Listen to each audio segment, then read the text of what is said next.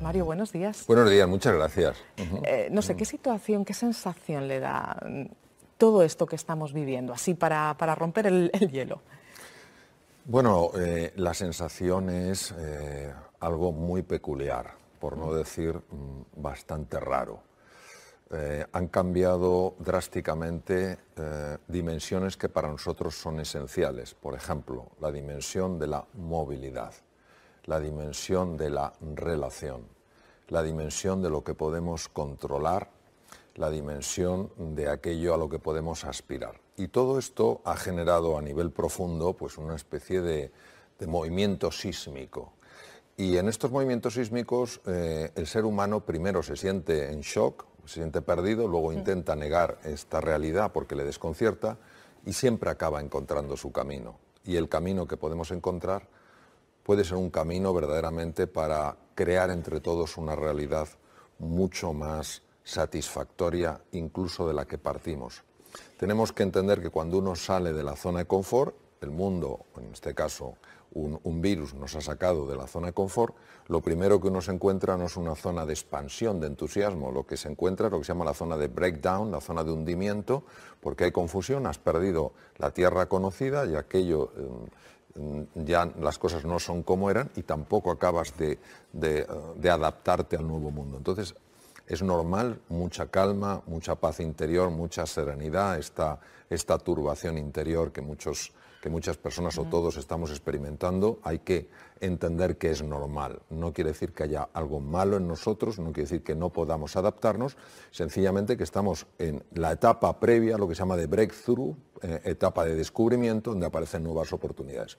Y en el breakdown es, perdón, como la persona que está navegando por el mar y viene una tormenta. Bueno, hay una tormenta, la tormenta no es agradable, hay que mantenerse firme sabiendo que después hay un continente por descubrir.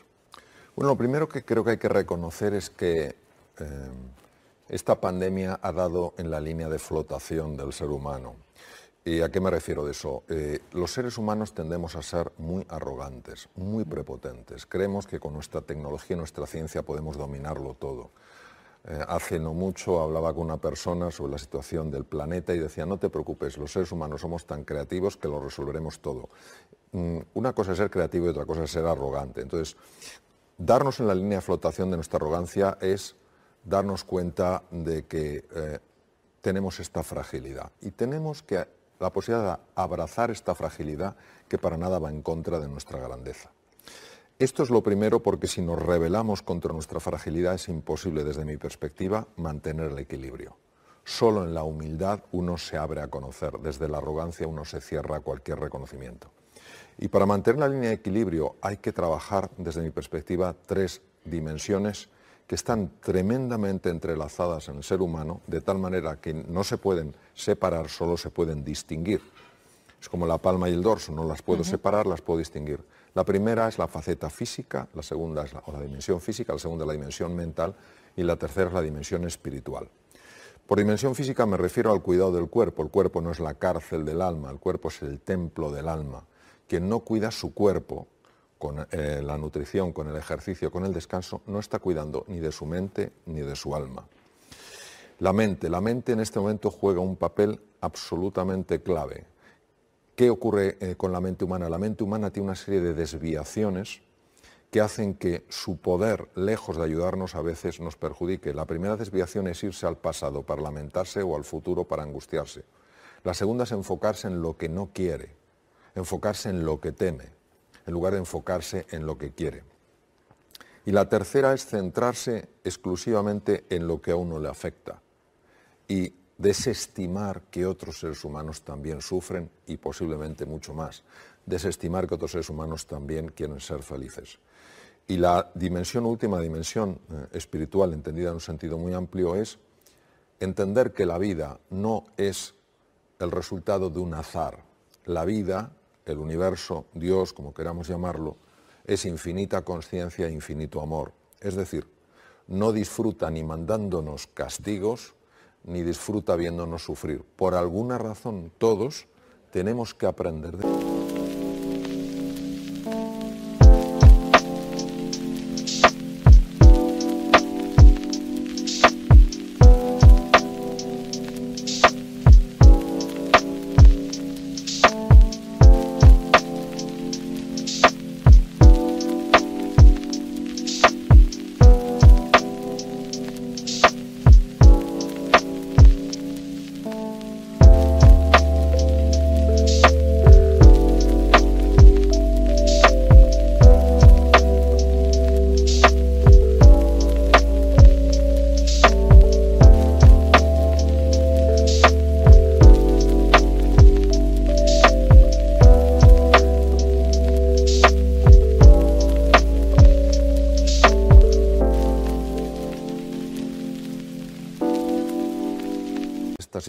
algo valioso para crecer como seres humanos. Y el trabajo del alma es un trabajo sobre todo de relación, es buscar el encuentro con los demás, es buscar no lo que nos separa, sino lo que nos une. Y luego también saber expresar gratitud, porque es verdad que esta pandemia nos ha quitado muchas cosas. Primero, eh, se ha llevado seres excepcionales, luego ha causado enfermedad, un, daño económico, pérdidas de empleo, sí. hay cosas que siguen estando en nuestra vida. El simple hecho de que muchas personas podamos ver, oír, hablar, tener algo que llevarnos a la boca, tener un, techo, es suficiente para agradecer. Cuando nosotros trabajamos esto es mucho más difícil que se nos saque del equilibrio. Y es mucho más fácil cuando algo nos saca reconocer si nos ha sacado porque no hemos movido el cuerpo, nos ha sacado porque estamos pensando en el pasado o en el futuro, o nos ha sacado porque somos incapaces de agradecer nada a la vida. Y al caer en la cuenta de eso podemos volver al eje sencillamente recuperando eso que no hemos eh, utilizado en el cuidado del cuerpo, de la mente o del alma. Pero mm, eh, sugiere ese paso, agradecer a la vida, a Dios, quienes somos creyentes, agradecer por eso que tenemos, ¿no? Por muy pequeñito que nos pueda parecer. Sí, yo creo que en esta, en esta época de confinamiento, eh, en los lugares, en, en, los hogares donde la relación ha sido buena, mm. se han dado cuenta de hasta qué punto la unión en la familia podía ayudar a sobrellevar esta situación de una forma mucho mejor. En los hogares donde esto no se ha dado, donde ha habido grandes tensiones, también se han dado cuenta de la importancia de la relación. Y esto ha puesto, eh, de alguna manera, en excepcional valor la importancia de la relación humana. El estudio más largo que existe en el mundo sobre la felicidad, que sigue que sigue vivo y que lo, lleva a cabo la Universidad de Harvard, es, tan largo que ya eh, lo lleva actualmente el tercer director, porque los dos anteriores han fallecido, porque eran personas ya muy mayores, han demostrado que la relación, las relaciones humanas es elemento clave en la felicidad. Entonces, el simple agradecer, tener alguien, aunque sea en la distancia, que a ti te importa y tú le importas, yo creo que en estos momentos es fundamental. El ser humano, como dice tan maravillosamente el, doctor eh, Alfonso López Quintás, el gran filósofo, el ser humano es un ser de encuentro. Nos necesitamos enormemente unos a otros. Entonces, eh, hay personas que piensan que solos llegan, llegan antes, se les olvida que juntos se llega más lejos. Entonces, la vida es un maratón, no es una carrera de velocidad. Y entender la importancia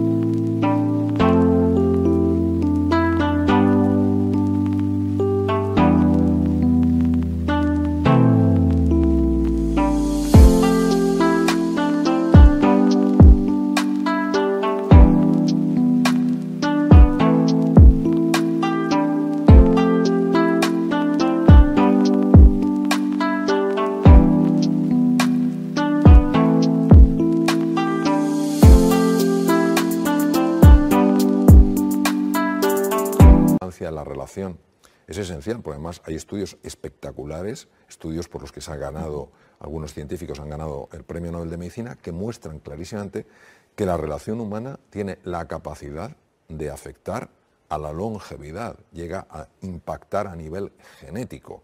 Es decir, estamos hablando de algo tremendamente importante. Entonces, yo creo que saber agradecer que somos seres en relación, que hay personas a las que importamos y personas que nos importan, es un elemento muy importante para sobrellevar cualquier situación por compleja que sea.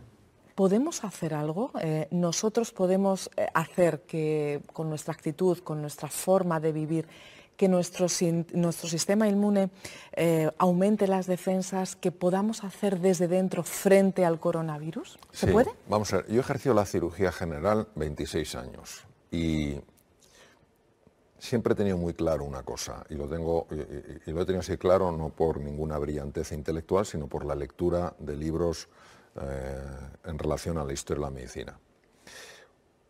Es normal, es lógico que nosotros esperemos un tratamiento específico para el coronavirus 19, es lógico, es natural que esperemos una vacuna. Es peligroso tomar una posición de víctima. Es decir, hasta que no haya vacuna, hasta que no haya tratamiento, no hay nada que hacer. Esto es un error, esto es como cuando un enfermo va al médico y pone todo su, todo su potencial curativo en manos de los médicos y se olvida de que en su interior tiene la capacidad de activar o desactivar recursos internos esenciales para vencer la enfermedad. Respecto a, a, la pregunta del sistema inmune, el sistema inmune es de una complejidad excepcional. Su modulación es la clave, es decir, que sea muy agresivo contra agentes dañinos, bacterias, virus y tumores, y muy amable frente a las células del propio organismo, porque si no se desarrollan las llamadas enfermedades autoinmunes. Para la regulación del sistema, mm, del sistema inmune es esencial el buen equilibrio entre el sistema simpático y parasimpático que operan por debajo de la conciencia, porque el sistema parasimpático que es el propio los estados de relajación, los estados de paz interior, los estados de confianza y serenidad, tiene un impacto directo en el sistema inmune, favoreciendo su capacidad de atacar bacterias, virus y tumores. Esto ha sido mostrado en múltiples estudios. Cuando una persona toma el papel de víctima y lo único que hace es esperar que alguien le ponga o le ofrezca una solución definitiva, esa posición de víctima, por sorprendente que parezca, por el impacto de la mente en el sistema nervioso eh, vegetativo, el sistema nervioso autónomo, simpático y parasimpático, lo que hace es activar el simpático y desactivar el parasimpático. Es decir, cuando activa el simpático empeora el funcionamiento del sistema inmune y al desactivar el parasimpático también lo empeora. Por eso, mantener la confianza, mantener la ilusión, mantener el entusiasmo, sabiendo que en algún momento alguien va a encontrar una vacuna, alguien va a encontrar un tratamiento específico, me parece la disposición inicial. Estar asustado, estar empequeñecido, estar encogido, hasta que alguien nos diga que se ha encontrado un tratamiento definitivo o una vacuna que solucione la situación actual, me parece que es biológicamente hablando un gran error. Qué interesante, ¿eh?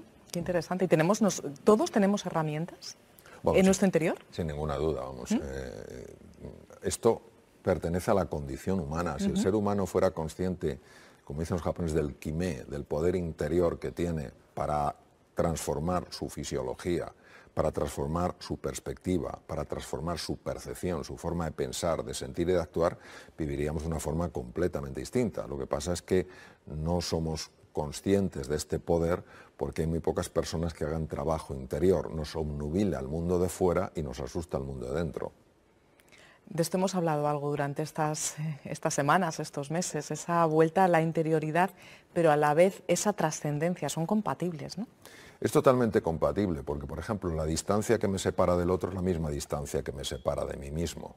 Es decir, todos estamos, todos estamos eh, conectados con nosotros mismos.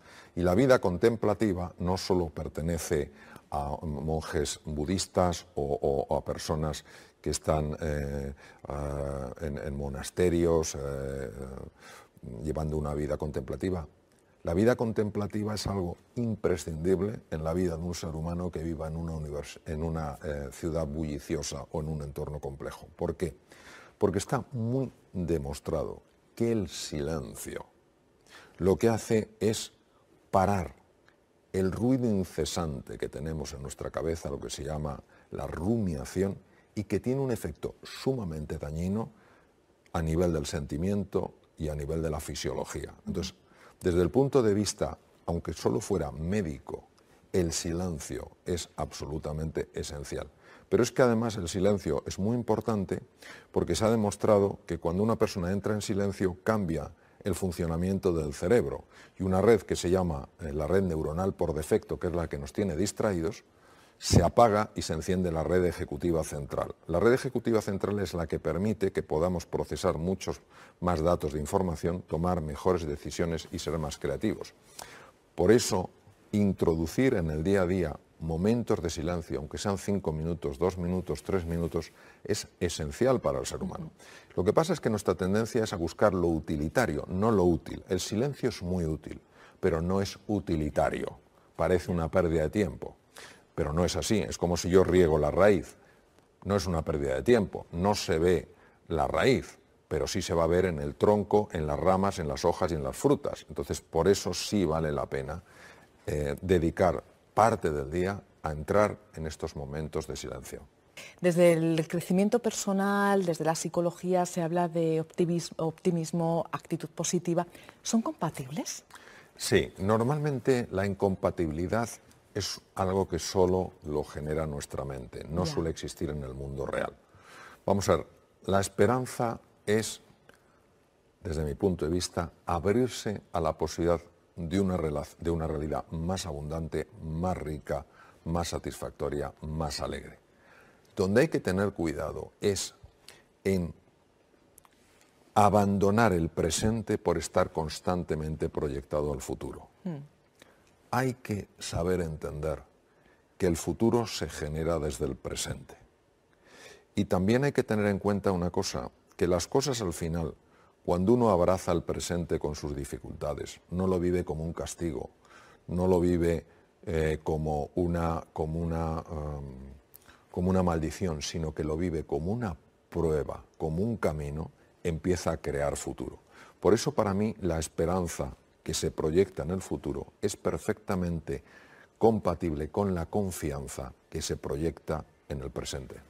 Y la espiritualidad, pero en este caso, eh, como decía antes también, llevada a la relación con Dios, ¿ayuda a quienes somos creyentes? Vamos a ver, eh, yo lo primero que creo que es fundamental es matizar qué entendemos por Dios, porque la palabra Dios a las personas que somos creyentes nos genera una imagen de cercanía. Mm de, amor, de infinita compasión. Pero hay otras personas que han vivido experiencias asociadas a esa palabra donde se les ha presentado un Dios punitivo, un Dios enjuiciador, un Dios que no te deja ni respirar. Entonces, eh, si abrimos la perspectiva y entendemos que Dios, la vida, energía cósmica, campo acásico, campo cuántico, como cada uno quiera llamar, lo que están expresando es lo que no se puede expresar en palabras, que es la conciencia infinita, el amor infinito y la creatividad infinita, todo lo que sea relacionarse con esa dimensión de la existencia es lo que te cambia la vida. ¿Por qué? Porque al trascender el ego, al ir más allá del propio ego y encontrarte con esa dimensión, ¿cómo vas a vivir con miedo? ¿Cómo vas a vivir con angustia? Si el propio Jesús, que para mí es la referencia número uno, decía, hasta cada uno de vuestros cabellos está contado. Es decir, a mí no me va a pasar nada que esa conciencia infinita y ese amor infinito y esa creatividad infinita no permitan que me pase. Y si permiten que me pase es porque hay algo que yo no lo veo y que sin embargo es fundamental, no para cubrir lo que deseo, sino para cubrir las necesidades de ese espíritu, de esa dimensión, de ese alma que está en un proceso de evolución. Entonces, a mí me parece que abrirse a eso sin tenerle que poner un nombre que a uno le, achique, sino generar esa relación, es que te permite mantenerte sereno en momentos de tremenda turbación, te eh, permite mantenerte confiado en momentos donde te ves demasiado pequeño. Y me parece que eso es una invitación preciosa que siempre ha de ser una propuesta y una invitación, nunca ha de ser una obligación. Y, yo creo que esa, que, esa, que esa dimensión hoy por hoy está generando cada vez más interés, porque cuando el ser humano eh, toca su fragilidad, entonces está dispuesto a abrirse al misterio. Muy buenos días, Mario. Hola, buenos días. Aprender a controlar la mente es, es el mejor camino para tener una vida plena, para cuidar también nuestro cuerpo mejor. Yo casi cambiaría la palabra controlar por gestionar. Porque controlar es como intentar dominar, intentar manipular y la mente es demasiado poderosa como para eso. Sin embargo, gestionarla sí y por supuesto la gestión de la mente transforma por completo la vida, ya que la mente tiene implicaciones en la salud física, obviamente en todo lo que son procesos mentales e incluso tiene un impacto a nivel anímico. La actitud contemplativa es una actitud que lo que invita es a la serenidad, al descubrimiento y a saborear la vida. Lo mismo cuando se aplica a la comida, saborear la comida, no sencillamente engullir. Y la comida tiene mucha más, eh, más importancia de lo que imaginamos. Está obviamente el tema del sabor. Tiene implicaciones sobre todo en el funcionamiento de la flora bacteriana, lo que se llama la microbiota, que a su vez tiene un impacto directo en el funcionamiento del cerebro. Es muy frecuente hoy en día eh, que las personas se quejen de trastornos digestivos y parte de ese trastorno es por la cantidad de aire que se acumula. Cuando una persona traga la comida en lugar de masticarla adecuadamente, está tragando también aire y el tubo digestivo no sabe qué hacer con ese aire. Distiende las paredes del estómago, las paredes del colon y esto genera un montón de problemas funcionales. Por otro lado, la salivación está, hecho, está hecha precisamente para eso, para digerir bien los alimentos. Todo esto, como, eh, como comentaba antes, tiene una repercusión en el funcionamiento en conjunto del tubo digestivo. Cuando uno come despacio, está reduciendo los niveles de tensión. Yo sé que hay personas que se ponen más tensas cuando comen despacio, pero eso no quiere decir que el comer despacio te ponga tenso, es que nos hemos acostumbrado a vivir de una forma, digamos, entre comillas, desordenada. Cuando una persona come más despacio, se genera un mayor estado de serenidad, que no solamente afecta obviamente al funcionamiento en su conjunto del tubo digestivo, sino que también afecta al conjunto de la persona. Pero también nuestra respiración. Nosotros tenemos varios músculos respiratorios y el más importante es el diafragma. El diafragma es un músculo único en cuanto que tiene control inconsciente y control consciente, por eso no tenemos que estar despiertos eh, todo el tiempo, sino que la respiración se mantiene. Y sabemos perfectamente que cuando se respira de forma adecuada cambian procesos cerebrales, se sincronizan mejor los dos hemisferios cerebrales. Sabemos que en las situaciones de estrés se produce un cambio brutal en el patrón respiratorio y cuando una persona aprende a respirar, sobre todo con el diafragma, el estado de serenidad empieza a aparecer de nuevo en su vida. Por eso es muy importante la respiración. ¿Y por qué es tan importante dormir lo suficiente? Porque durante el sueño se libera una hormona que se llama la melatonina. Y la melatonina hace muchas cosas, entre otras cosas activa los genes llamados los genes reloj nocturnos PER1, PER2, PER3, que lo que hacen es descubrir dónde está habiendo mutaciones que pueden dar lugar a tumores para repararlas. Por otra parte, durante el sueño se libera hormona del crecimiento, la cual obviamente ciertas edades como la mía no te va a hacer crecer si repara los tejidos. Y además, durante el sueño se activa el sistema un sistema muy especial que es el sistema linfático, que no es el linfático, correspondería al sistema linfático del cerebro, que permite la eliminación de proteínas tóxicas que se acumulan por la actividad cerebral que si no se eliminan pueden facilitar con el paso de los años enfermedades neurodegenerativas. Aprender a conectar cuerpo y mente viviendo con una conciencia plena, aprender a comer, a respirar, a relajarse, pero no basta con eso, también hay que aprender a desaprender, a eliminar de nuestra vida lo que guardamos, Mario, en estas dos maletas. ¿Qué representan? Bueno, tu maleta representa el pasado, las lamentaciones por el pasado. ¿Y, la, tuya? oh, lo que pesa, las preocupaciones por el futuro. El caso es que esta, la del pasado, también pesa bastante y voy a ver qué, hay, porque el caso es que está vacía. Sí, está vacía, no lo ves, hay pensamientos, los pensamientos no se pueden ver y sin embargo sí se convierten en sentimientos y sí se convierten en procesos corporales. Por eso, aunque parece que no pesa, pesa mucho en la vida. ¿Y qué hacemos entonces para desprendernos de lo que hay dentro de esas maletas? Pues dejar de culparnos por el pasado y de angustiarnos por el futuro, vivir un poco más en el presente, en el aquí y en el ahora. Otra idea que a mí me ha gustado a mí mucho, eh, la, imagen del tigre como ejemplo. Explícanosla. Bueno, el tigre es el mayor de los felinos. En sus intentos por cazar un ciervo rojo en la India, eh, solo tiene éxito una vez de cada diez. Imaginémonos que el, tigre cayera en una depresión porque no ha tenido éxito a la primera, a la segunda, a la tercera, se moriría de hambre. Los seres humanos, en cuanto algo nos sale mal, eh, no cubrimos las expectativas, con frecuencia nos desanimamos, por eso creo que hay que ser un poquito más tigre.